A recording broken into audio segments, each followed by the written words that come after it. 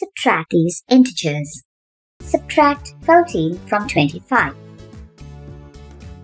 25 minus 14.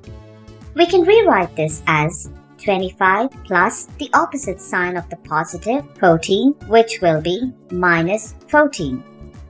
Let's solve this using the procedure of adding integers.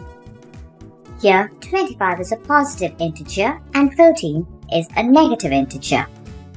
Since both the numbers have different signs, we subtract both the numbers and place the sign of the larger number. 25 minus 14 is 11. Sign of the larger number 25 is plus. So the answer is plus 11.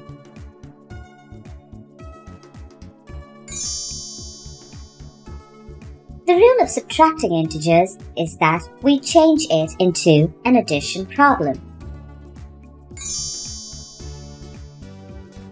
Subtract minus 36 from 49. Thank you for watching. Enroll now. To access all 177 videos totaling 9 hours and 32 minutes, featuring introductions, examples, and exercises for grade 7 math.